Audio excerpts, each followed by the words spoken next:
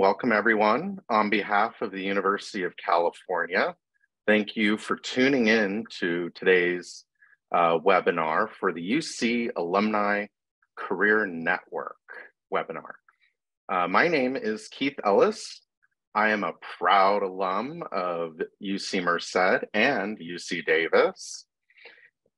and I serve as one of our alumni regents on the University of California Board of Regents. And it's a pleasure to represent you all in that space. I also serve as the alternate media design specialist at Folsom Lake College in the Center for Excellence, where I ensure students with disabilities can access their course content. and I'm honored to moderate today's uh, webinar. This program is part of a UC-wide effort uh, to unite and support alumni across our 10 campuses.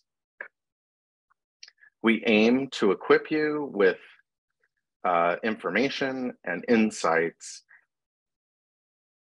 and connect and connections necessary uh, to launch, grow, and expand your career.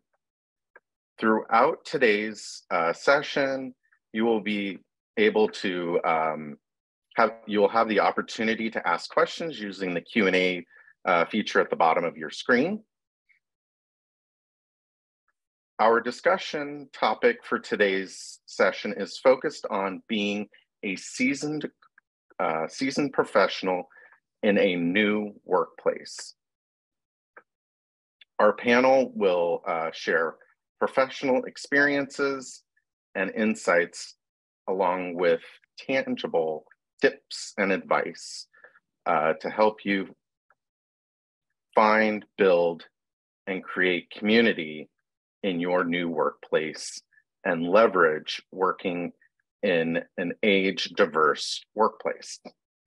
Uh, for me personally, um, while I have pretty much been with the same employer, uh, the Los Rios Community College District, uh, for about nine years. In that time span, I have shifted uh, college campuses, and much like the UC, each campus is kind of unique.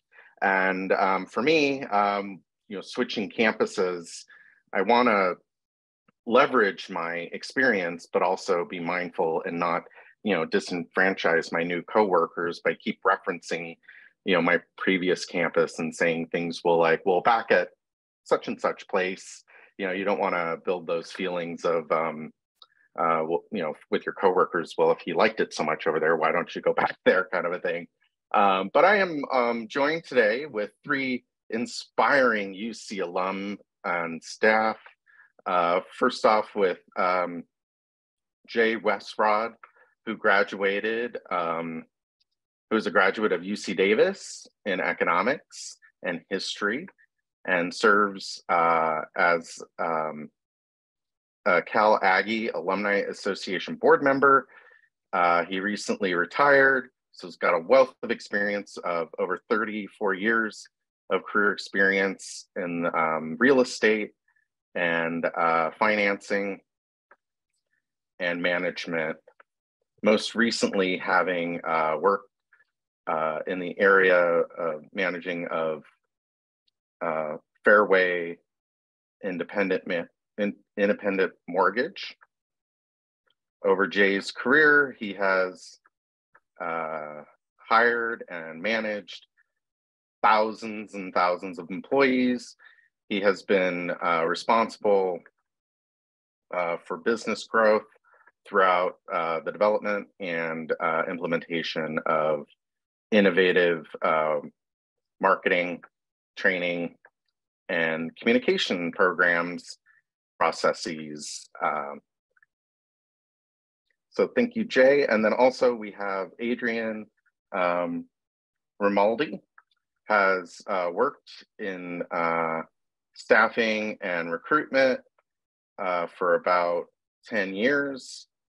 Uh, in this uh, time, uh, she has partnered with a wide range of businesses uh, throughout uh, the Yolo, Solano, and Sacramento counties uh, to assist with finding uh, solutions to their various staffing and needs.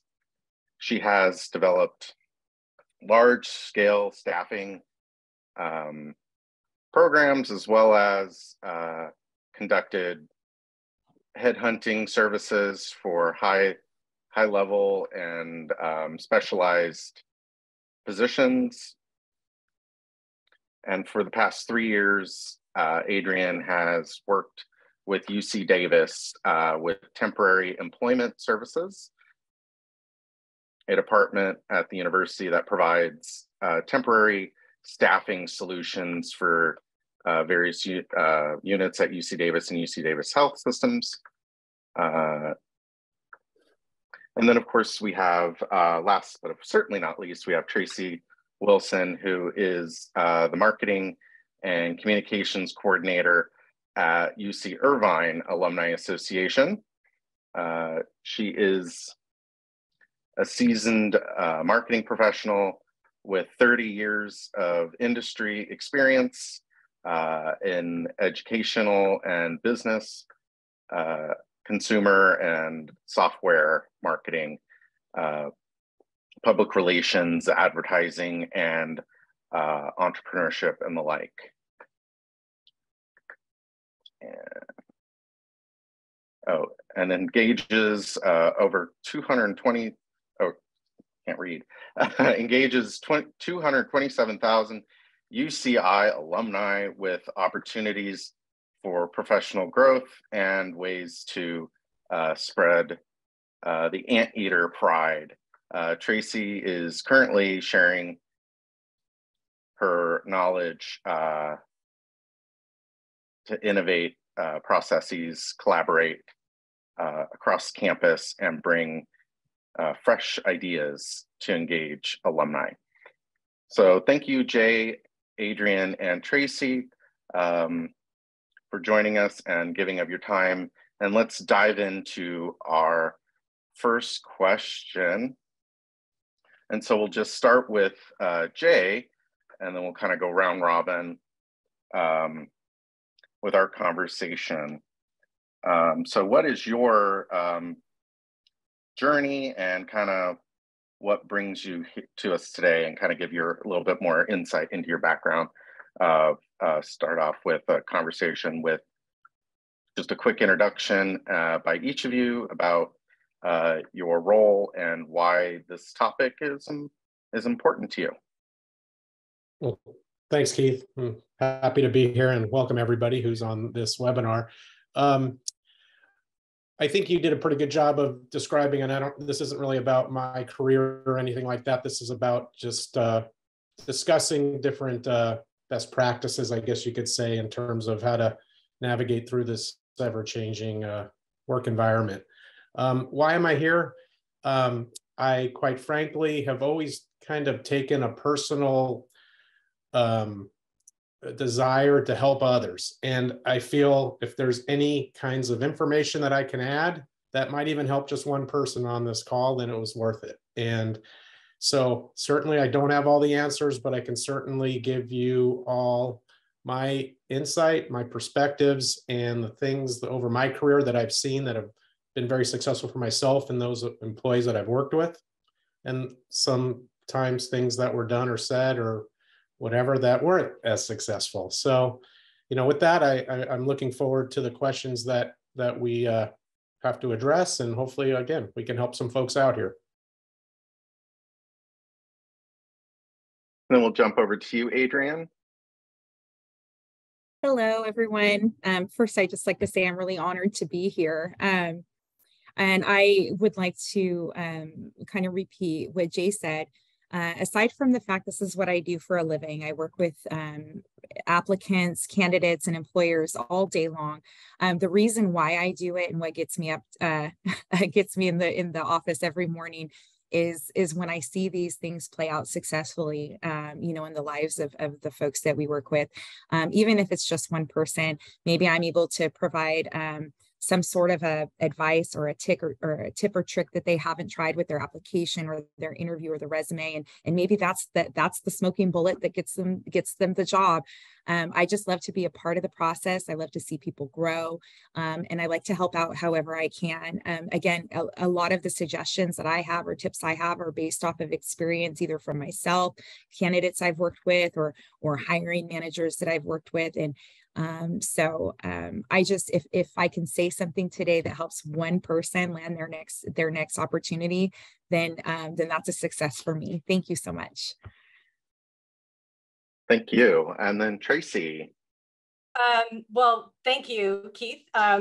I was very excited to be a part of this today because I had a, a, truly positive experience in my transition into the Alumni Association at UCI.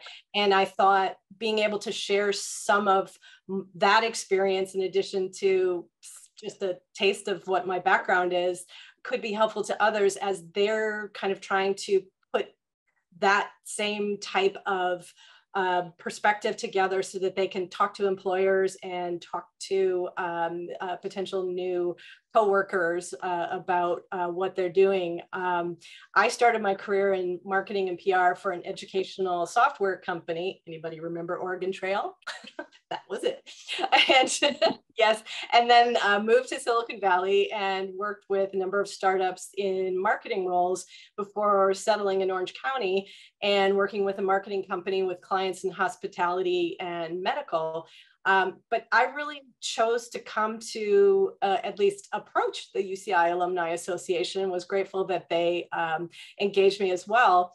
Um, after uh, leaving the marketing company, but really because I wanted to be, be a part of a mission that I believed in and wanted to take the experiences that I had in all these various backgrounds and industries and try to solve the problems that they were trying to solve and and get to the next level that they were looking to to get to. So it was it was exciting because both my husband and my family we've all been involved in education in some capacity. And so just being able to contribute into that mission and um, quite frankly they welcomed this you know golden gopher j school alum as their newest anteater too. So that was awesome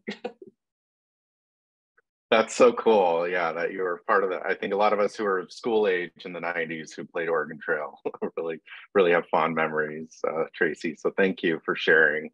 Uh, I'm going to go to our next question, start off with you, Adrienne. But our first question, or second question rather, is how do you uh, create community in a new workplace and leverage uh, working in an age diverse work workforce or workplace. So, Adrienne, lead us off. That's a tough one. So, how do I leverage?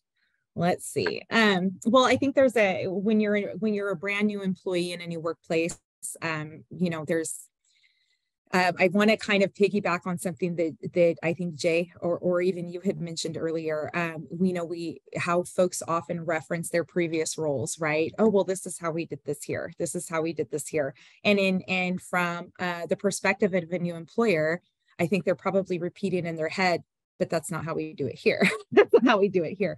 I think oftentimes as new employees, um, you know, especially if we're we're transferring into a role that maybe isn't just like what we just left, oftentimes we try to make um, we try to translate you know what have i done what i did before and what you're training me to do now and sometimes that can come across as this is how we did this at my old place um, and and that in itself can create some some conflict so um, that's one phrase that you probably want to stay away from. Um, you can trans do the translation in your head, but you might not want to to communicate it to an employer.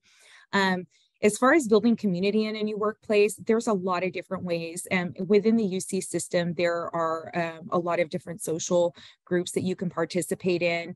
Um, it could be as simple as, um, you know, there's you have your social groups, your wellness committees, your DEI committees. There's a, lot, a wide range of things that you can participate in. Um, and if you are working in an office, the easiest thing you can do is eat lunch in the break room. Um, that was something that was advised uh, to me in my last role when I was working with development and alumni relations. There were a lot of development officers, and uh, I mean, it was just a huge, um, a huge unit. And the hiring manager said to me, this is a great way for you um, to build relationships with people that you might not see or or interact with on a regular basis have lunch in the break room and um, and I, I tried it a few times and lo and behold, I was uh, meeting people, having coffee, having our snacks and talking about, you know, the weather or, or little things that led to lunch dates or that led to you know um, building those those relationships whether they were directly related to your work or just networking type relationships within the workplace. And and it helped me feel a lot more comfortable because i had other people that i knew and other people who who liked to communicate with me and who made me feel comfortable. Um, so that's a big one. Um, you know these are and as you're interacting with these people you can ask them about you know do you participate in any networking events or any social committees or anything like that um, it, I think a lot of it is just asking around and taking full advantage of, of the different things that are available, trying those things. Um, you don't necessarily have to commit because they might not be the best fit for everyone after you've tried them out a few times. But um, but just trying uh, your hand at, at, at some of these uh, supplement supplemental type activities, I think can definitely help you build relationships um, with within within your new um, employer. Um, and then they they just kind of take off from there. You know next thing you know you have a group of folks who are are your references and your network and they're building you up and they're referring you. Um, you know it's it's just small little steps um, starting out is just introducing yourself i'm new here and ask a question or just let them know you're new. The conversations and the relationships will kind of evolve from there that's fantastic. Yeah, I totally agree with, you know, don't don't eat in your cubicle, don't eat in your office, go go eat somewhere else. I personally I'll on a nice day I'll go eat out on in the quad mm-hmm. at a mm-hmm. table, you I know, that kind of thing. Yeah, our natural inclination, I think, for a lot of people, uh, different personality types, but for a lot of people, for myself, is to go and hide because I don't know anybody. And that's the, you want to do the complete opposite. Put yourself out there and don't be afraid to do so. Totally agree. Uh, what about you, Tracy? How do you build community in a new work workspace, workplace? Um, it, it's actually been quite fun. Um, this team is is pretty spectacular in um, their their diversity of both uh, experiences, uh, culinary uh, adventures that they like to go on. Uh, I'm a big foodie, so um, I, I think what's been most exciting is I've approached it as this is an exciting opportunity to get to know a lot of different people at a lot of different points in their career and ask them questions and find out how they did specific things to get where they um, where they wanted to go but also learn from that and figure out how i can connect some of my lessons um, and experiences, good and bad, um, to whatever they're personally trying to do or whatever is actually happening within the group. Um, and uh, like um, uh, Adrienne said, and you've said too, eating uh, alone, uh, unless you are absolutely on deadline, go for the lunch bunch. We have a lunch bunch um, every uh, time we as a group are meeting live and in person. We do a lot of virtual meetings still, but um, when we are there, um, we always find a way to um, just take that hour and go chat with people. Um, and also one of the things that um, when i first started only a year ago um, that i got involved in was a campus-wide uh, wonderful roundtable. And what it does is it meets uh, quarterly. And brings together people from uh, all different departments and groups across campus. So it's it's a hour and a half opportunity to dive into what's happening in everybody else's world. And through just that conversation, listening, I've been able to say, hey, you know what? We'd love to feature this alumni that you're talking about in our um, next newsletter or in, you know, our uh, on our socials or, or some way to connect and bring everyone together. Um, and I do have to say that um, the other thing that's been fun too is that we've all been sharing so much uh, about uh, what are our favorite places to eat? And so we actually created on Yelp uh, a specific uh, alumni association account where everybody can add in their favorite vetted uh, restaurants, uh, you know, from across the globe. So it's great if you're in a totally different part of the country or world, or even just the, you know, different city, you can know that you're going to find a great lunch. So that's part of the way that I like to leverage um, and, and encourage um, excitement and diversity. That's so awesome. Definitely build community around food. Uh, so Jay, uh, across your expansive uh, uh experience and time, uh, how have you built uh, community in your new workplaces as you've moved throughout your career? Sure, and and so I, you know, I've I've I've got a little bit different perspective being on kind of the senior management side, but I think a lot of these items that I'm going to bring up right now are, are, are, certainly applicable for everyone. And I also want to point out that I know things have changed in the work environment where we've got not just folks traditionally working in an office all the time, we've got hybrid and we've got full remote. So I, I think these some of these uh, tactics in terms of building community that I'm about to talk about, I think could apply to all of them. Um, number one is I've always strived to make it fun. I mean, we spend so much time, we spend more time working than we do anything else, right? And it's stressful. I, I, I there's demands, there's deadlines, there's tough, you know, tough coworkers or tough supervisors that are really hard to sometimes deal with. And but there's ways to make it fun. And I, I think that's how you build a community is one to take a positive approach to spending so much time of your life doing something. And so some of the some of the specific items that I, I incorporated were, and anybody can do this at any level, is uh, have I had a weekly meeting and um, without fail it was every Monday morning, and what what what it whether you're working remote, hybrid, or together, and it's obviously nicer if you're if if if everybody's together where you can be you know there face to face. But even if you can, that's fine. But in those they're not long meetings because i know pe- i hated meetings. And but it was just a quick little down you know download of hey tell us something great that happened over the weekend and what are you grateful for? We ended up calling it like a gratitude circle. And people would just i was grateful that i was able to get my kids to school today on time. You know it could have been something as simple as that but it, it, it wasn't about work. It was just about finding out about others within your working cohort. And it really did build community that way because it's like, oh, I didn't know you have kids. How old are your kids? And or whatever the case may be. Um, so so that was one of the things I, I highly stress having meetings. Again, not put a time. We put a time limit on of 15 minutes, so everybody knew it was in and out. But it was and it wasn't about work. It was about having. It was about our lives, and it was about something personal usually. But it was always positive because of something we're grateful for.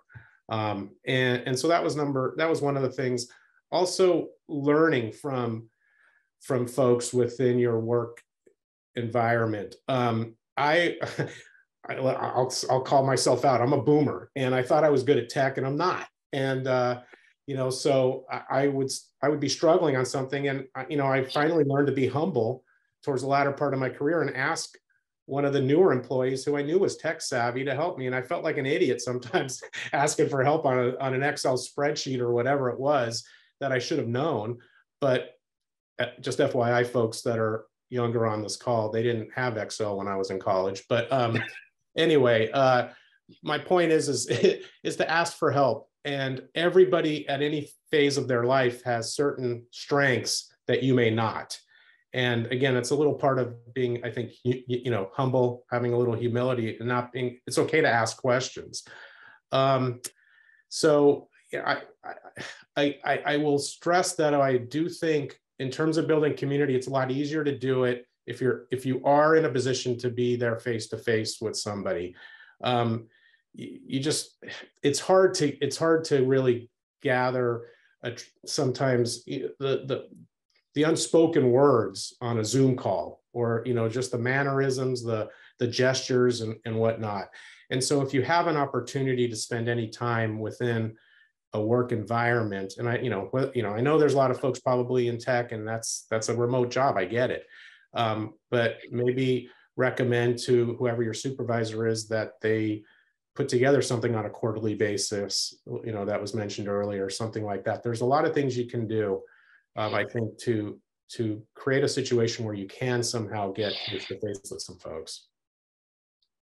Yeah, totally agree with you. Um, I think it's kind of counterintuitive sometimes to be a little vulnerable in the workplace. We don't want to expose that, uh, especially to to to like our boss. Uh, but I think it, it's it's good to like show a little vulnerability. That's kind of how you kind of kind of can build connection there. Uh, Jay, you kind of touched on this a little bit that the evolving landscape.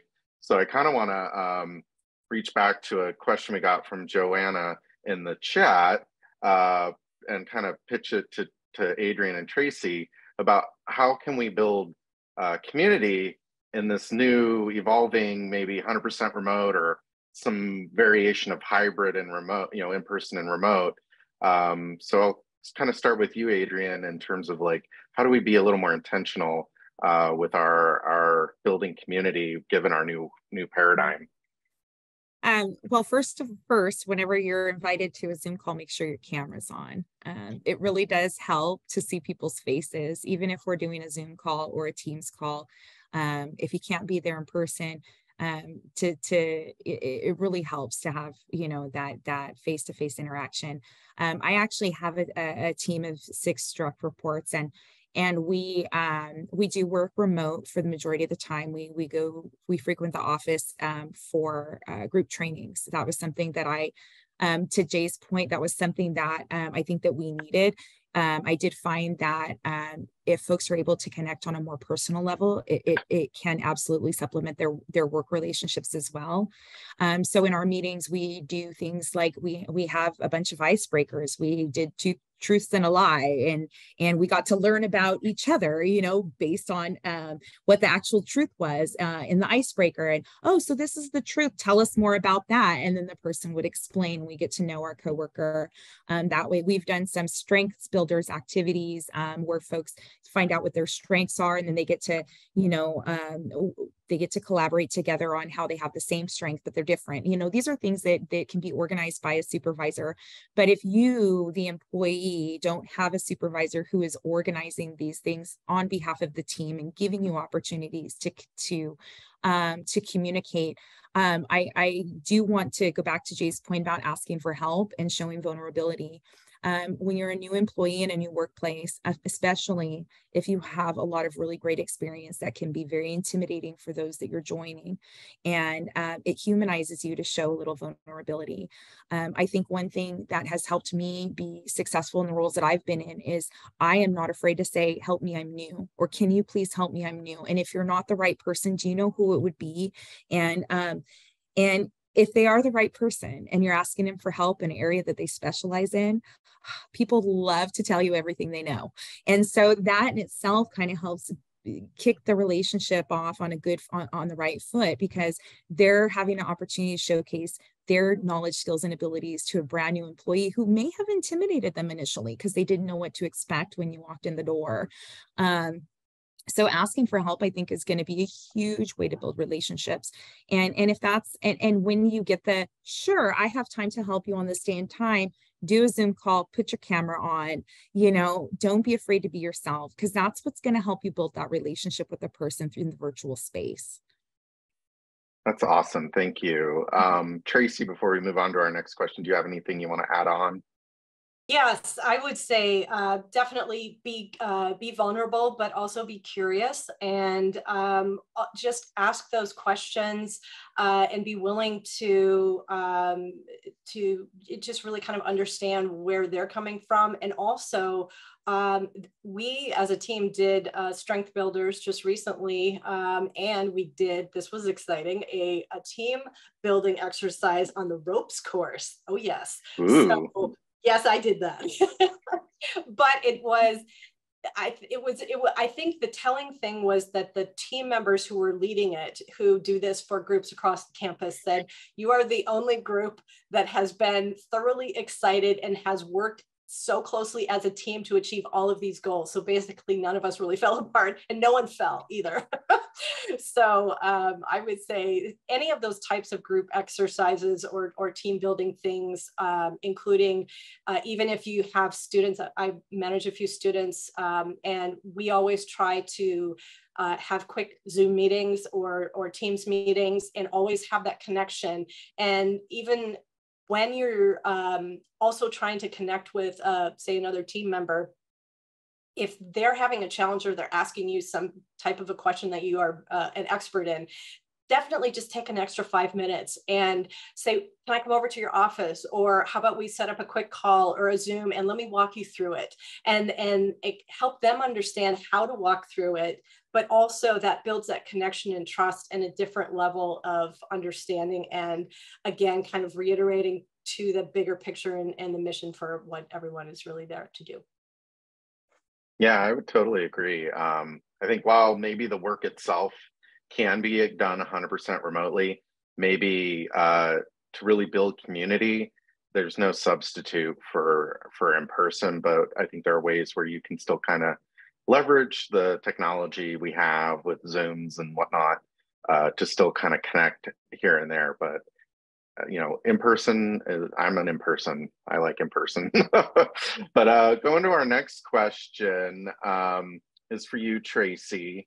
Uh, as a new hire, uh, what are uh, some ways to take your past experience and get buy-in uh, from new coworkers or colleagues in order to implement change or inspire innovation? I would say um, something that I mentioned before, but it's really listen. Um, take the time to listen to what your colleagues and your coworkers are saying and ask the questions. Be curious. Um, i like to put on my uh, journalism hat and you know be that reporter and kind of try to delve into why things are happening the way that they are and ask the questions and be as responsive as possible um, and and really try to connect without um, oh well in my last position i did this or that. But it's it's well in my experience this broader group of x or y we implemented this type of a solution this might work here what do you think about that so it's kind of that networking uh, approach where just tell me a little bit more about things that i don't necessarily know so that i can figure out what is relevant to to help solve the problem. I, I solve the problem and advance the mission. I guess is is kind of the the exciting part. Um, and once I had my bearings, I asked even more questions, and and my teammates will definitely say, "Oh yes, you did definitely ask a lot of questions." But once the comfort level was there, they were more open to share. Um, and so we could together take risks um, even though we might not necessarily know what was required of the project, but we could then come up with different solutions. So it, it allowed us to really kind of do some out of the box thinking and make connections to assist um, those who are trying to create the solutions and the best outcomes. Um, I do think that um, your industry experience is relevant no matter what that industry is because there's always something that is similar across all um, types of, of challenges that we face and so i would say just ask a lot of questions listen and take risks and and uh, you know continue to be a team player that's awesome thank you so much and i want to thank uh, everybody who's uh, contributing in the Q&A. See some lively questions and we'll try to get to some of them as we move through the latter half of our, our webinar here today. So just like to thank everyone for engaging with us that way as well. I'm gonna pivot over to you, Jay, for our next question. Um, and uh, given your former experience as a manager uh, working with employees at uh, all stages of uh, their career, what are the strategies for success that you have seen in employee in employees uh, during uh, in employees coming into uh, a new company or career during their first uh, one to two years?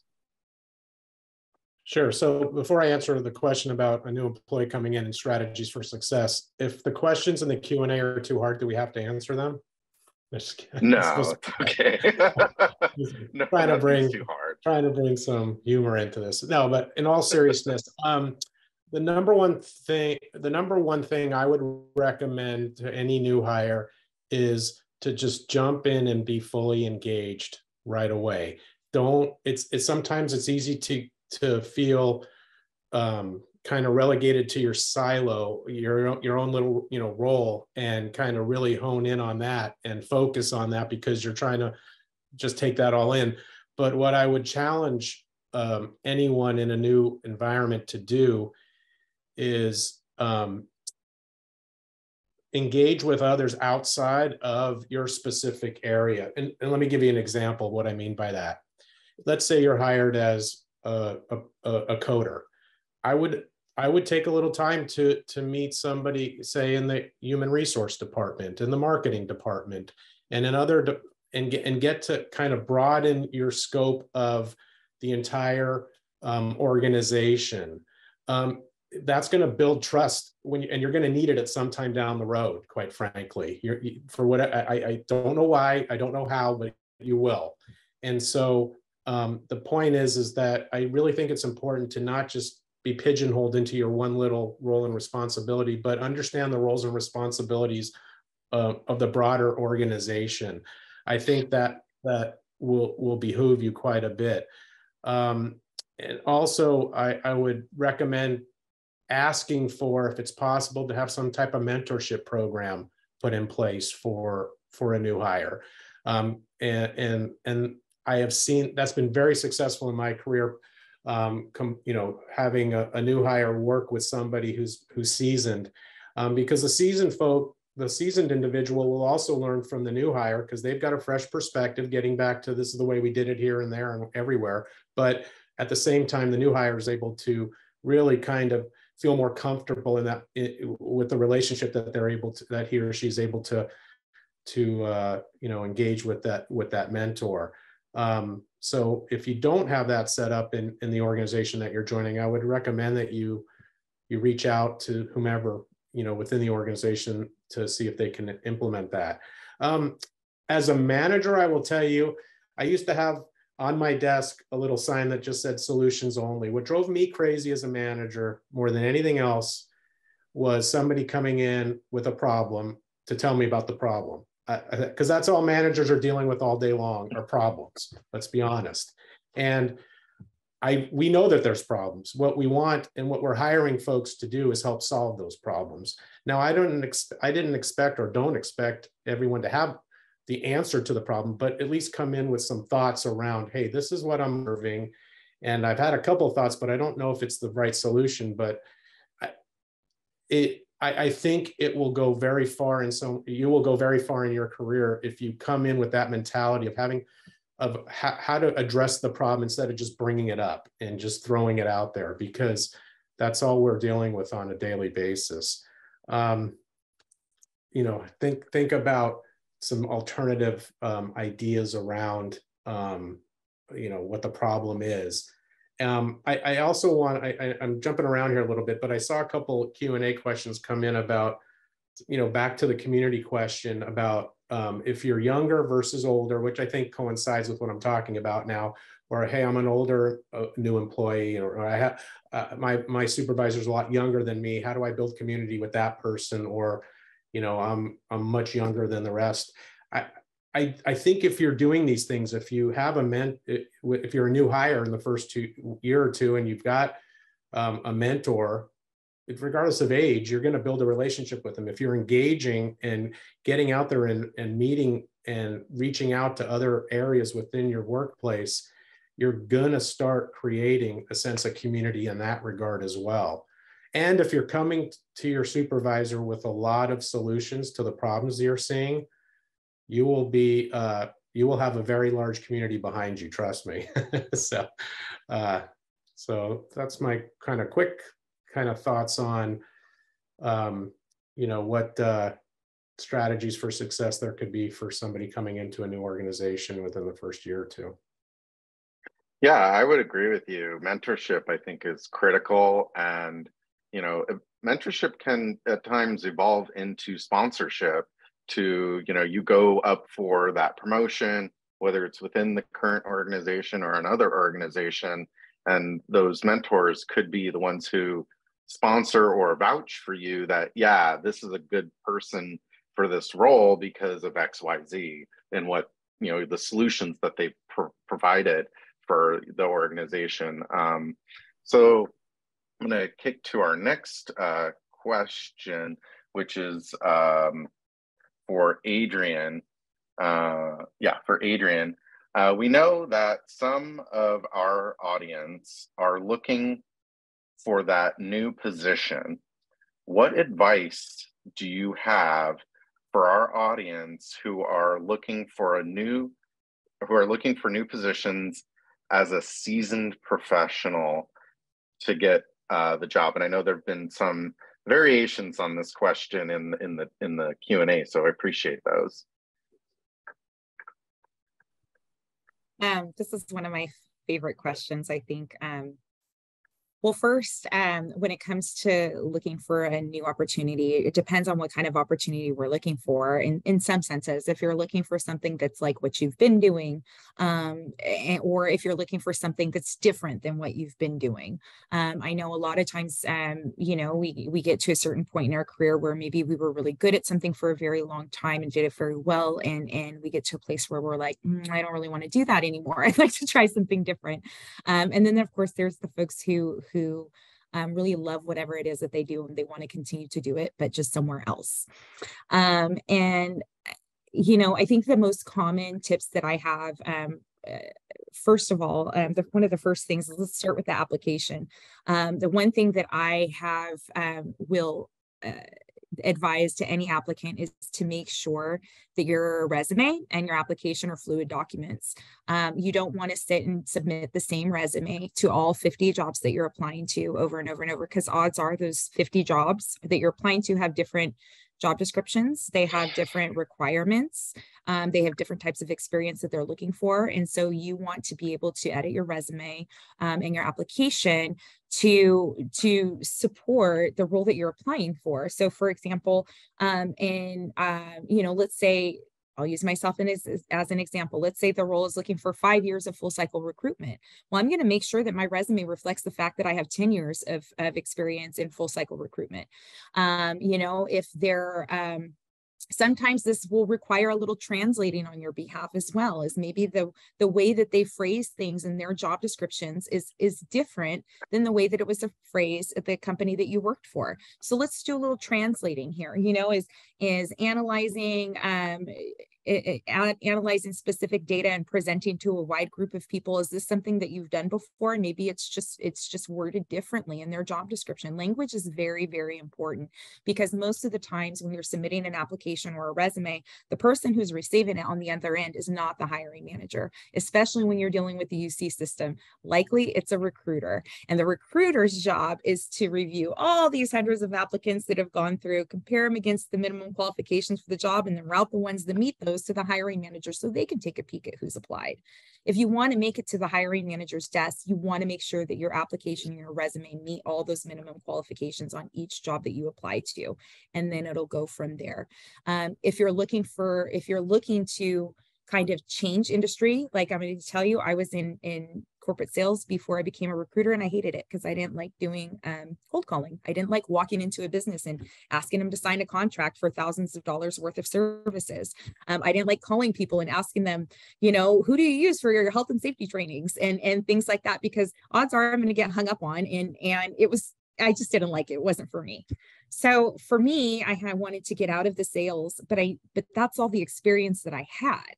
So I had to find an industry or a role that could use my sales experience to get into that position, but they wouldn't be as heavy on the sales in the day to day. maybe I could get some additional administrative skills, or I could get some additional skills in another area um, that will help me kind of bridge over to the new industry that I wanted to work in. So I got a job in recruiting. I worked for a staffing agency, and it was maybe you know 50% sales 50% recruitment versus the role where i was 100% sales. And so i was really able to develop my skills in recruiting and interacting with individuals and and um, advising them on um, you know applications resumes and interviews and things like that with a little less sales. And then um, you know my the heavens opened my dreams came true. I was offered a position at uc davis um, doing exactly what I was doing before in recruitment and placement, but there's no sales aspect to this role when it comes to having to build the business because we're an internal department. So through the little the bridging, I used my sales skills and promoted those on my resume to get the job as the recruiter, which was that's that's essentially how it worked. And then i was able to phase out of the sales altogether and get into a recruiter position. So um, there's it depends on where you're at and what you're trying to do. There's a lot of different ways um, to to get to the end um, to uh, but um, the most important thing that i want folks to carry with them is that that resume and that application should be a fluid document. Um, that's that's what's really going to help help you see some traction on some of those applications that you're submitting. That's awesome. Yeah I, I can't agree with you more that your resume should always be up to date and the cover letter needs to fit what you're applying for. Um, but several folks um, have mentioned in the q&a about asking when is it time to switch you know to look?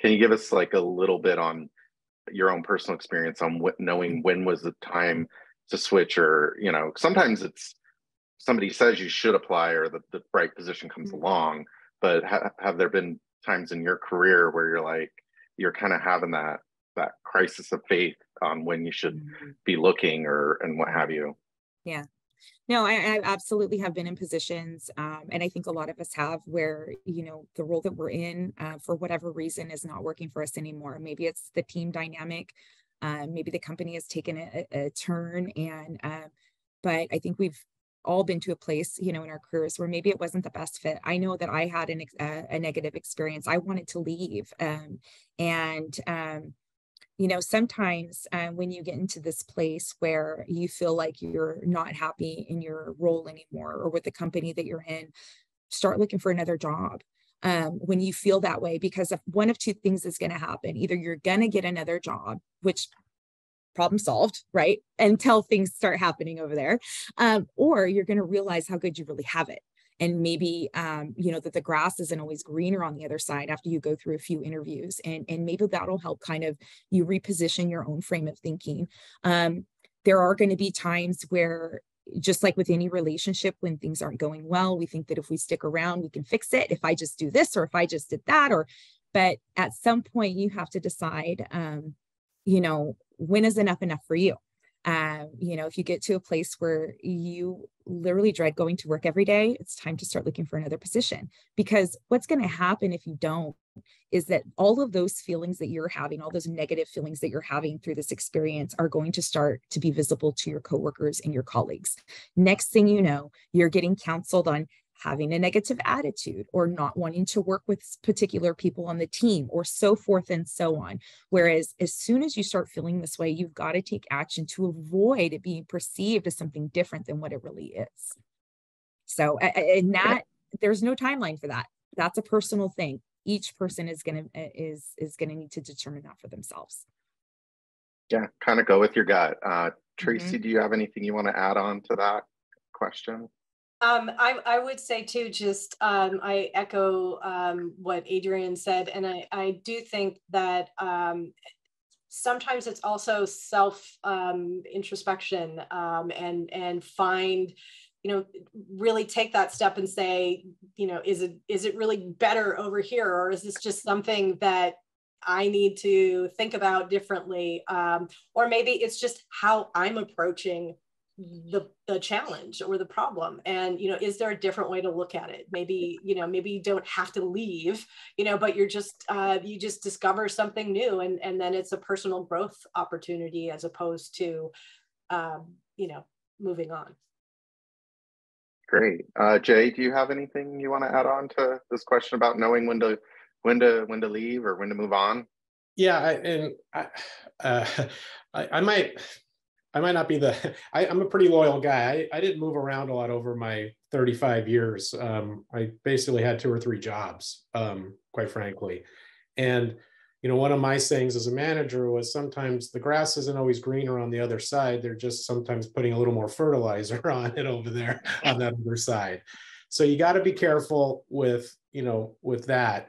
Um, I, you know, looking at, I'm scrolling through some of the Q and A, and there's, and one of the common themes that I'm seeing with a lot of the questions that are asked much differently than others, but there's a common theme, and and my response in general is don't be afraid to communicate to your supervisor what your concerns are if you're having some.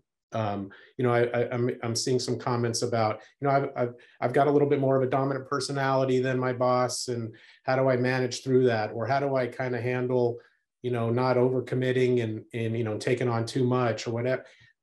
I respected the employees that came up to me and said, "Hey, boss, this is," you know, they didn't call me boss, but hey, hey, Jay, this is what you know, this is what's concerning me, and I want to talk it through with you. I had I had a lot of respect for those folks, and there, and there weren't that many of them that did that, but the ones that did, they moved way up in terms of my mind in terms of what a quality employee that person was. Because I know it's not easy going to a boss and, and sharing a concern or an issue you have with that particular person.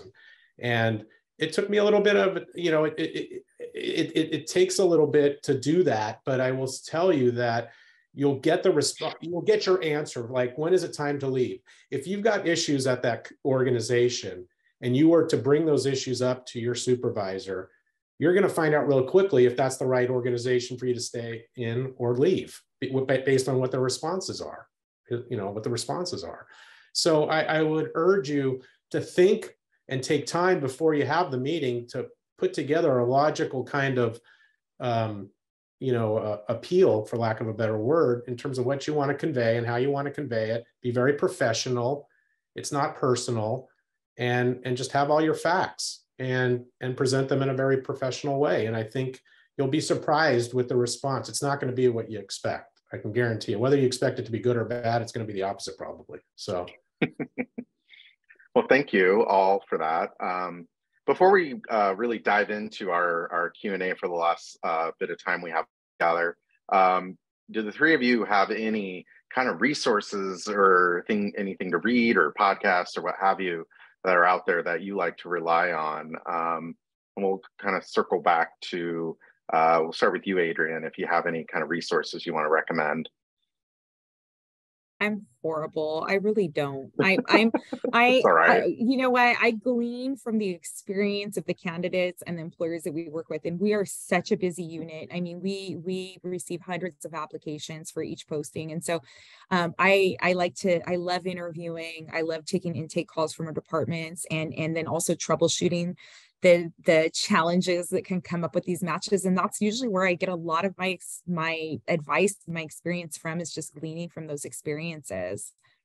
I'm sorry i'm a horrible reader. No that's all right. No need to be sorry. Um, i'll go to go to you tracy if you have any kind of recommendations or resources to point uh, to. absolutely. Um, i would say um, i unfortunately, unfortunately, uh, for what I do, I am on social a lot. So um, I subscribe to a lot of great feeds um, on, on Instagram, and I love reading um, Harvard Business Review, their Ascend. They have little quick, uh, you know, quotes. Sometimes Forbes has some great quotes. It's just those little triggers and reminders um, to, you know, kind of just look at things differently. Um, I listen to a lot of different podcasts. Um, one that I like is uh, Kara Swisher's uh, Pivot. Um, great ways to get ideas to drive creative solutions um, is kind of what I, I, take from a lot of those. Um, and then I would say too, um, sometimes delving into what my passions are. I love food, love to cook, love to bake. One of my favorite entrepreneurs is uh, Ellen Bennett from, uh, she has an apron company called Hedley and Bennett, and she just is a ferocious, awesome person who uh, just is really supportive and has a great tribe of people around her. And so I look to her, but also how they're doing what they're doing with their company. And yes, it's, it's a totally different industry, but how can I then take that information that I'm you know whether it's an email or whether it's how we're you know they're communicating about a new product or whatever and translate that into how we're engaging with alumni and how how do we reach a different demographic that we really need to get to for our different numbers so just kind of piecing everything together and getting inspiration from those um, other sources Thank you. And then Jay, do you have any uh, resources you want to point to for folks? Yeah, I, I got a gazillion, and I, I, I, know we're running short on time. So I, one of the things I would recommend is everybody should Google themselves. Google your name and see what pops up. Um, uh, whether you're looking for a job or or whatever. I mean, it's just good to see what your what your um, you know online reputation is. Um, I, I think that's important. Um, I did that every time somebody applied and I, I, was about to interview. I just Googled them real quick, and sometimes it was pretty enlightening what I would find. Um, uh, I would also, you know, make sure your LinkedIn is as as was, uh, uh, you know, from a resource perspective, I would make sure you have a really strong LinkedIn profile.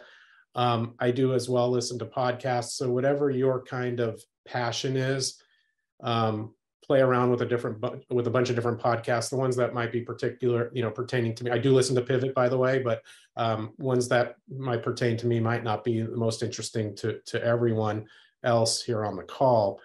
Um, and um, i did read a book um, they still do they still make books don't they? Um, yeah. uh, I, I, read a book when i first uh, graduated from from Davis back in the late 80s. And uh, it was called Think and Grow Rich by Napoleon Hill. And it was a pretty interesting book.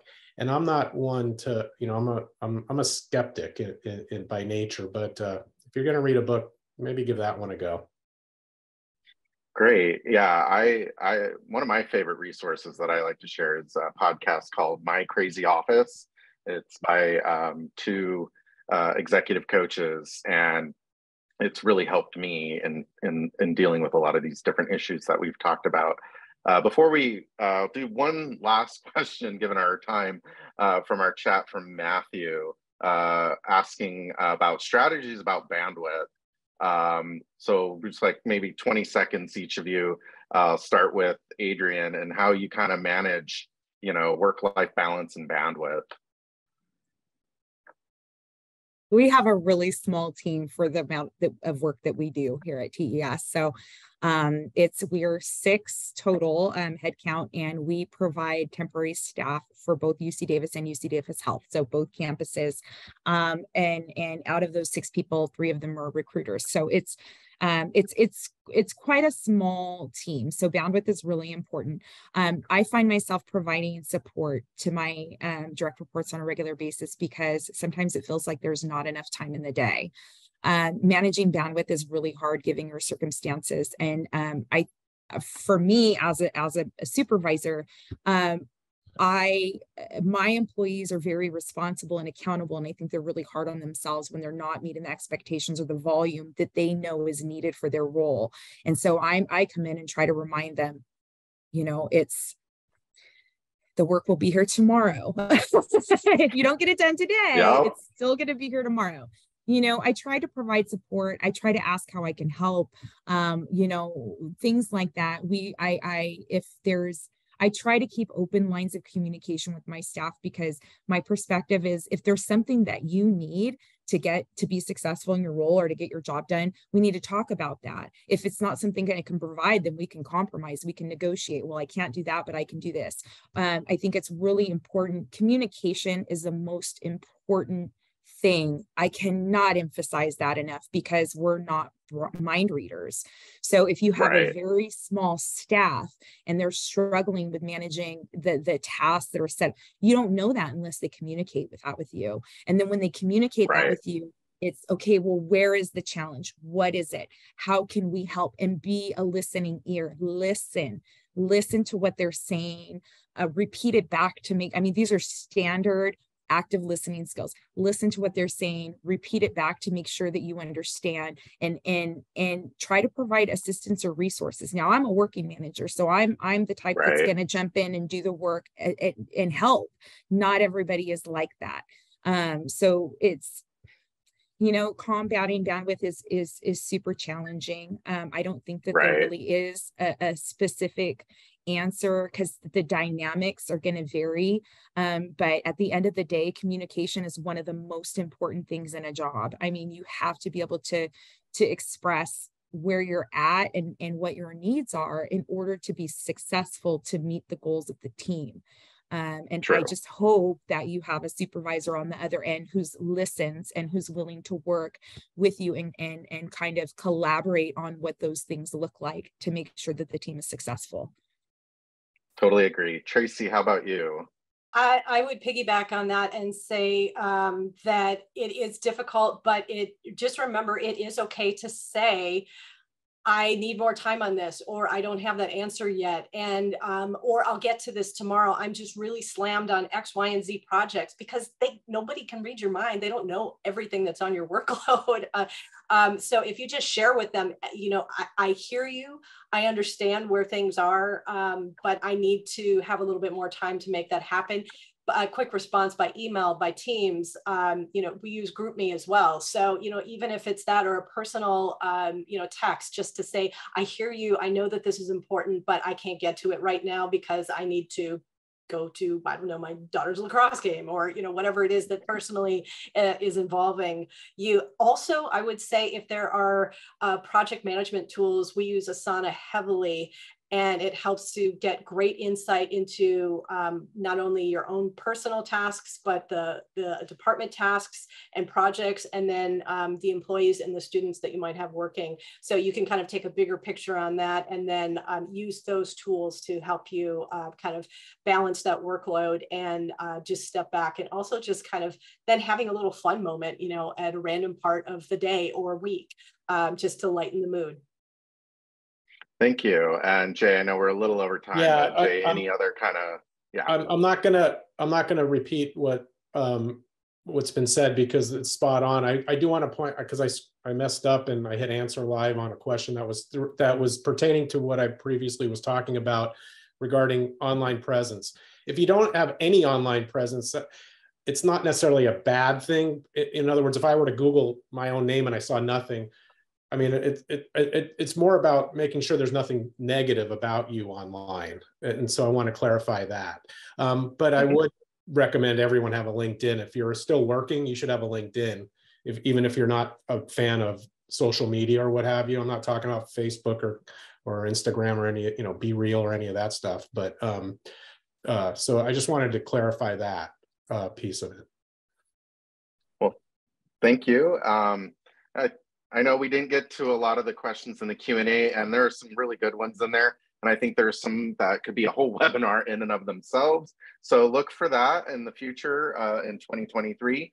Uh, on behalf of the University of California, thank you for joining us today for our UC Alumni Career Network webinar. It has been a pleasure uh, to connect with you all virtually and our panelists, each of you. Um, we appreciate you um, taking your lunch hour and being a part of your day and this event um, and hope you've all gained uh, a lot of valuable insights and strategies uh, uh, to make your career and life uh, pivots as necessary. Uh, this, this webinar will be posted uh, shortly to the UC Alumni Career Network page. So please share with your socials, Facebook, LinkedIn, Twitter, and whatnot. Uh, and I personally would like to thank uh, Adrienne, Jay, and Tracy uh, for their time uh, today and generosity for supporting the University of California. And thank you all and have a wonderful rest of your day.